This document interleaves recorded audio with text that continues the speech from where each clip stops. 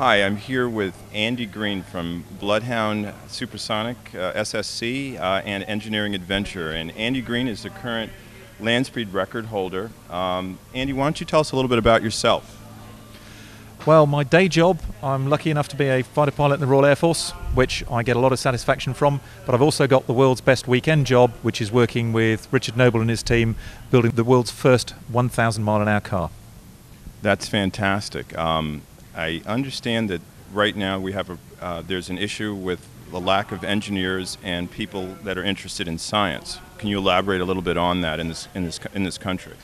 Yeah, if you look at how dependent we are on technology nowadays, uh, the, the, the technological revolution, the challenges of, uh, of the technology over the next 10 or 15 years, the move into a high tech, low carbon future, we need a huge number. In the UK alone, we need about half a million engineers, and we are struggling to get those. 60% of our highly skilled engineers are going to retire from the profession in the next 20 years. So we've got a huge problem. It's not just the UK, it's the same in the US, it's the same across Europe. So we've started this project to try and inspire kids into a, an interest in science and engineering. Now, if a thousand miles an hour and all the challenges of getting there doesn't excite them, they've got to be dead. That's right. Let's talk a little bit about that thousand mile an hour barrier that you're talking about. That sounds like a very ambitious goal. What makes you think that you can get there? We've spent three and a half years researching this project. Uh, we looked initially at the possibility of doing a 1,000 miles an hour. We spent 18 months researching it. We announced it in public. We spent another two years doing the research. We have the power plants. We have an EJ200 uh, Eurojet engine, nine tons of thrust uh, from the, uh, the Eurofighter Typhoon. We have our own Falcon rocket, 12 tons of thrust, so a total of 135,000 horsepower uh, to drive the car. That will get us to 1,000 miles an hour if we can keep the car on the ground. We've had Swansea University, the world's leaders in supersonic ground effect computer modeling. Um, Intel, as our IT partner, have supplied us with some of the biggest computers in the country to do that modeling over the last year or so. And we now have that aerodynamic solution. Um, the other big problem we've got is the wheels. Wheels are about three feet, about 90 centimeters across. Um, they need to rotate at 10,000 revolutions a minute, pulling 50,000 times the force of gravity at the wheel rim to actually get the right shape and the right modeling to make them stay uh, in one piece takes a lot of expertise. Lockheed Martin have given us that expertise to design those wheels. We now have a wheel solution. So we've got wheels, we've got a shape, we've got the power plant. We now know we can get to 1,000 miles an hour. What sort of challenges do you see as far as um, getting to that to that point? I mean, when you actually are making that run, what sort of challenges do you see that would imp- impede on that actually occurring? Well, I'll give you the big obvious challenge. It's getting the funding together. It, financially, it's a really challenging environment. Um, we need about three, three and a half million pounds sterling to build this car. We're probably about a third of the way there right now in the fundraising. But here at Farnborough, we've, we've and again, with this car and with this message of getting the education, it's inspiring a lot of companies. We've had a couple of companies come along this week and actually say, we want to get involved in this. We've announced two new sponsors. Hampson Aerospace is building the whole back half of the car for us, which is great. We've now got a timeline. We know we'll get that chassis early next year. Um, the Institute of Mechanical Engineers in the UK, fantastic education network, which is going to be invaluable for getting that message out there, have also put some money into the project, put their name on the side of the car. So that process is happening now all the time. Very, very excited now about the momentum of the project. There's a real buzz in the engineering team. These guys are going to build a thousand miles an hour car. They know they're going to deliver it.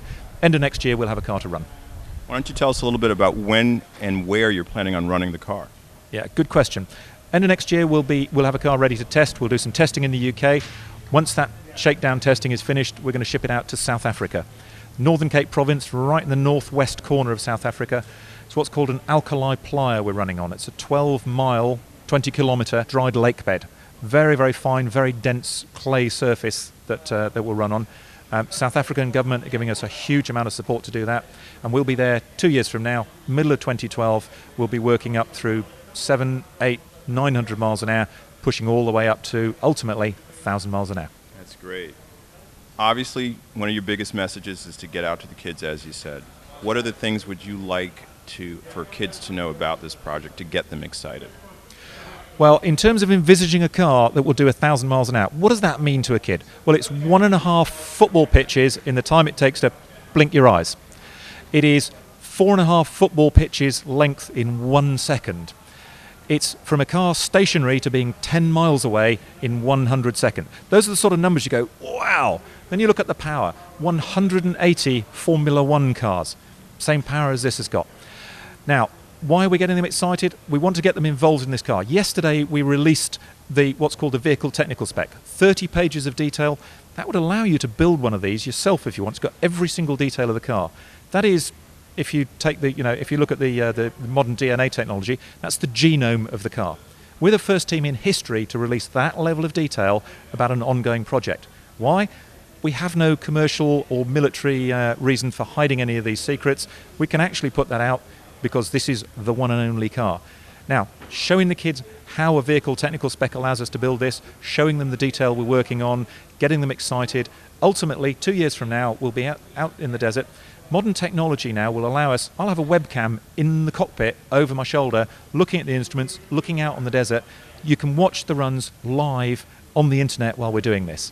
With that level of technology, we're hoping to get the biggest following in history for a single race event, to get interest in the science and technology, to be able to download live data from the car while we run it, and actually do the data analysis on the turnaround in the classroom while we're doing it out in the desert. That's the aim of the education programme. We've got something like 4,000 schools in the UK signed up. Later on this year, Intel are actually using their global education network to put this whole thing out globally to potentially 6 million teachers on their, their global education program. South Africa, where we're running the car, a lot of schools are signing up already. So we're very, very excited about the school's audience. So it sounds like the technology can really bring it right into the classroom for these kids. Absolutely. And of course, uh, Farnborough Futures Day, the school's day on the Friday here, um, the first two lectures to be fully signed up were the two Bloodhound lectures. Uh, which which is a real thrill. We're very very delighted we've got that kind of response, and of course the kids are just going to be all over this car on Futures Day, so we're very excited about that. Sounds really exciting. Well, I wanted to thank you very much, Andy, and I wish you and Bloodhound and Engineering Adventures all the success in the world. Fantastic, thank you. Thank you.